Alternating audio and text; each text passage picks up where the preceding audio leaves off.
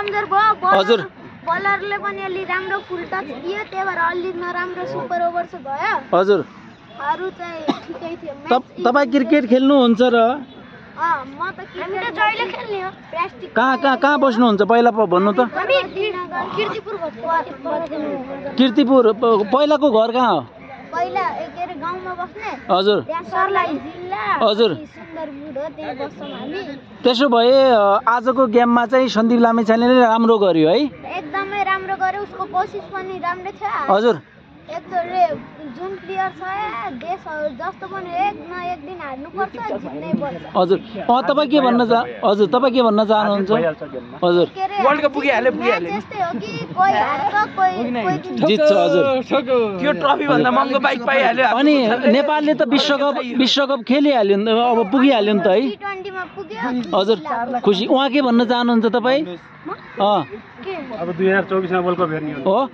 अब तपाईँ तपाईँहरूलाई सोधौँ है सर। तपाईँहरू पछाडिको उहाँ। एकदम राम्रो इन्ट्रेस्टिङ थियो।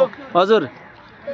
अब उहाँ सरलाई पहिला सोधिहालौँ है। सन्दीप लामिछानेले जुन अवस्थामा हारिरहेको गेमलाई चाहिँ पल्टा फेर्नुभयो अँ, तपाईँ कमब्याक गर्नुभयो त्यो कुरालाई चाहिँ कसरी लिनु भएको छ तपाईँले चाहिँ? त्यो एकदम राम्रो कोसिस थियो उहाँको होइन? हजुर हजुर। त्यो अनुसार चाहिँ हाम्रो सुपर पावरमा त्यो अलिक हुन सकेन। हजुर हजुर। त्यसको लागि अलिक दुःखी त छौँ तरै पनि गेम इन्ट्रेस्टिङ भएको हुँदाखेरि सबैलाई रमाइलो लाग्छ। हजुर अरू तपाईँहरूलाई कस्तो लाग्यो? सबैले बो- बोल्दा हुन्छ नि त। हजुर सुपर ओभर कस्तो लाग्यो? सुपर ओभर चाहिँ हाम्रो बोलिङ तर्फबाट चाहिँ हाम्रो रातो टोपीलाई चाहिँ। तपाईँलाई क्याप्टनसिपी अलिक थोरै। क्याप्टनसिपी जुन जसलाई बल बलर अप्सनहरू धेरै थिए है। के गल्ती गर्नुभयो कि जस्तो चाहिँ के भन्न चाहन्छु भन्दा चाहिँ म हजुर। अविनाश बोरानी राम्रै बोलर हुनुहुन्छ है। त्यो पनि हाम्रो के अरे डेथ बोलिङमा चाहिँ। हजुर। फेरि त्यो हाम्रो सुपर ओभरमा चाहिँ हाम्रो करण केसी सुम्बल कामी हजुर। एन्ड द हाम्रो इफ गुलसन झा। गुलसन झा। हजुर। सन्दीप लाक्समा दिए पनि एउटा हाम्रो हजुर। म्याच विनिङको एउटा पार्ट हुन्थ्यो त्यो पनि। हजुर हजुर। थोरै त्यसमा पनि एउटा हजुर हजुर। के अरे क्याप्टन्सी चाहिँ थोरै अलि अभाव देखि देखियो। हजुर हजुर। फिल्डिङहरूमा पनि क्याच मिस भयो। फिल्डिङहरूमा नि क्याच मिस भयो। हो, क्याचहरू मिस भयो चौकाहरू रोक्न सकेन है हजुर अनि त्यसमा पनि हामी धेरै दुःखी छौँ हजुर र हाम्रो यति खुसी छ कि यो हाम्रो यो नेपाल टिम चाहिँ इन्टरनेसनल टिम चाहिँ हाम्रो हजुर पछाडिबाट अँ, जानु। दुई हजार चौबिसको चाहिँ हजुर खास गरी हजुर तपाईँ तपाईँ। नेपालको होइन त्यो देखि नै पर्छ। नत्र हुँदैन। नत्र अब कसले बोल्यो के बोल्यो भन्ने हुन्छ नि त। युनाइटेड टिभी नेटवर्क अँ। हजुर अँ तपाईँ मार्क्स नखोल्दा नि हुन्छ। तपाईँ देखिन चाहनुहुन्न त्यो- त्यही भएर पनि बोल्दा हुन्छ ल भन्नु। खास गरी नेपालको आजसम्म र खेल असाध्यै राम्रो खेलेकै हो। योभन्दा पहिला पनि कुनै पनि हाम्रो खेलहरू सिक्वेन्सली असाध्यै राम्रो खेलेको हामीले देख्न पायौँ। हजुर। तर मलाई के लाग्छ भने नेपालको खेलाडीहरू अथवा त्यो टिमको क्याप्टेन अथवा त्यो टिम कोअर्डिनेसनमा अलिकति केही सुधार्न पर्ने देखिन्छ भने किनभने हरेक खेल भनेको एउटा युद्ध जस्तो हो। युद्धमा ठुला ठुला रणनीतिहरू बनाउनु पर्ने हुन्छ। हजुर। खेल मैदानमा आज जुन फिल्डिङ गर्ने तरिकामा अथवा त्यहाँ खेलाडीहरू उपलब्ध गराउँदाखेरि त्यहाँ अलिकति केही मिस अलिक गलत हामीले बाहिरबाट देख्ने देख्न सक्छौँ। हजुर हजुर। हार्नुको मेन कारण चाहिँ मैले त्यो देख्छु। आगामी खेलहरूमा पनि एउटा खेलाडी चाहिँ एउटा टिममा एउटा सीमित टिम एउटा टिममा हुन्छ एउटा फिक्स जाना हुन्छ तर त्योभन्दा ठुलो एउटा कुरा के हो भने रण रणनीति चाहिन्छ जस्तो इन्डियाले हरेक खेलमा आफ्नो विभिन्न खालका रणनीतिहरू प्रस्तुत गरेर खेलहरू अगाडि जितिरहेको छ। त्यसमा पनि प्रत्येक खेलाडीको प्रत्येक रणनीति हुनुपर्छ। हजुर। म कुन पोजिसनमा गइरहेको छु र म कस्तो खेल्नुपर्छ भन्ने कुराहरू जबसम्म खेलाडीले आफूलाई अगाडि लग्दैन। तबसम्म क्रिकेटमा सफलता हासिल गर्न सक्दैन। हजुर। अब तपाईँले जुन एउटा रणनीति भन्नुभयो है अविनाश बोराले कतिपय उहाँ ओभर खेल्नुहुन्छ भन्ने कुरा गर्नुभयो। तर एउटा त्यो एउटा बलरले चाहिँ छ बलमा चाहिँ फरक फरक बल फाल्नुपर्छ भन्ने तपाईँलाई लाग्दैन? किनभने उहाँले त फुल टसै फाल्नु भएको छ फुल टसै फाल्नु भएको छ। त्यो यर्कर अट्याक गर्ने ठाउँ त होइन नि त त्यो बेला त हामीलाई विकेट भन्दा नि त्यो भन्दा विकेट भन्दा नि हामीलाई त रन रोक्नु थियो नि त। हजुर। यस्तो छ अब खास गरी योभन्दा अगाडिको खेलमा पनि यही उमरसँग खेल्दाखेरि उहाँको एउटा ओभर चाहिँ करिब बाइस रन जति दिनुभएको थियो एक ओभरमा। हजुर हजुर। त्यसभन्दा यसभन्दा अगाडिको ओभरमा पनि सायद मेरो विचारमा अठार रन दिए जस्तो लाग्छ मलाई। हजुर हजुर। उहाँको अलिकति बलिङमा मैले व्यक्तिगत रूपमा आक्षेप लगाउनु त म चाहन्न अब हजुर। मान्छेको अब सधैँभरि राम्रो हुन्छ भन्ने हुँदैन।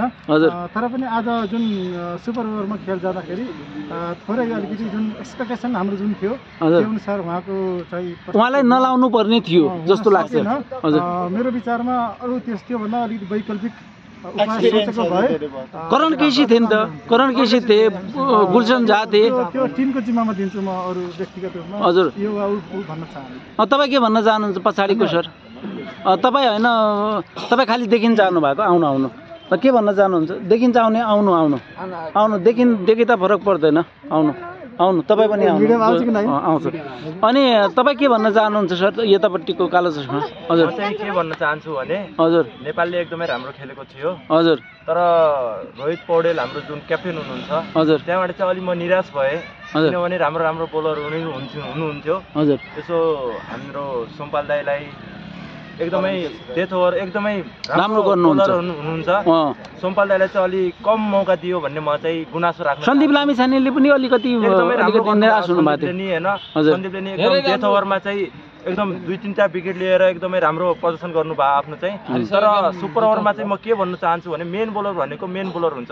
मेन। बोलर भनेको ब्याकबोन हुन्छ कि टिमको भनेको। हजुर हजुर। त्यसैले हामी के भन्न चाहन्छौँ भने सोमपाल दाई जो मेन बोलर हुनुहुन्छ त्यहाँलाई एकदमै अघि देखाउनु सोमप डेथ ओभरमा नि अनि सुपर ओभरमा नि अनि सोमपाल दाईलाई अलिक चान्स दियो भए राम्रो हुन्थ्यो जस्तो लाग्छ। हजुर। तपाईँ उहाँ सर तपाईँ पनि बोल्नुहुन्छ है? तपाईँ अघिदेखि त्यो समाइरहनु भएको छ आजको मात्रै गेम हेर्ने हो भने कुरा फरक हुन्छ तर हामीले हेर्ने हो भने विगत पाँच छ महिनामा नेपालले धेरै राम्रो गरेको छ। हाम्रो ओडिआई स्टार्टर धरि घुम्ने मौका थियो। हामीले बाह्र मध्ये एघारवटा म्याच जितेर कताबाट कता पुग्यौँ। मोन्टी सर आएपछि हाम्रो धेरै परिवर्तन भएको छ। हजुर हजुर। नेपालको यति धेरै क्रेज पनि हुन्थेन। हजुर। एक दुई हजार मात्रै म्याच हेर्न आउँथ्यो अहिले हेर्नुहोस् चालिस पचास बढी छन्। त्योभन्दा नि बढी छन्। हजुर। बाहिरभित्र।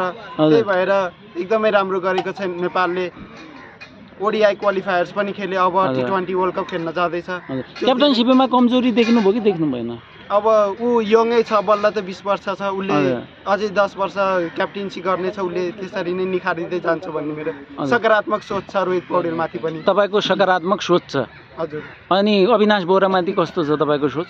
Avinash Bohara death over specialist भनिन्छ तर उहाँले योर्करमा स्पेसलिस्ट हो तर आज अलि गर्न सक्नु भएन। प्रेसर थियो एकदम म्याचमा। हजुर तपाईँ बोल्नु सन्दीप लामिछानेले जसरी उहाँको अन्ठाउन्न विकेट भयो उहाँले अब राशिद खानसँग अझै अर्को म्याचमा दुईवटा विकेट लिनुभयो भने विश्व कृतिमान बन्छ फास्टेस्ट छ। हजुर।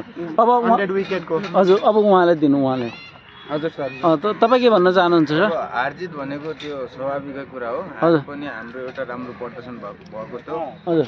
अब यो हारजित भन्दा नि अबका आउने दिनहरूमा अब खेलाडीहरूलाई योभन्दा राम्रो फेसिलिटी र योभन्दा अब राम्रो प्र्याक्टिस माहौल यो अब दियो भने राम्रो हुन्थ्यो जस्तो लाग्छ मलाई। अब युनाइटेड नेपाल। अहिलेसम्म हाम्रो राम्रै गरेको छ। हजुर अ, तपाईँ तपाईँ अन्तिममा के भन्न चाहनुहुन्छ म के भन्न चाहन्छु भनेपछि हजुर। अबको यो दुई हजार चौबिसमा चाहिँ टी ट्वेन्टी वर्ल्ड कप मा चाहिँ नेपालले चाहिँ राम्रो प्रदर्शन गर्ने गर्नेछ र अँ, आफ्नो तर्फबाट चाहिँ पोजिटिभ भावनाले चाहिँ अगाडि बढेर चाहिँ केही न केही चाहिँ राम्रो प्रदर्शन गरेर चाहिँ वर्ल्ड कपमा चाहिँ जे होस् नाम राख्नेछ उताल्नेछ भन्ने चाहन्छु। हुन्छ सर हस् धन्यवाद।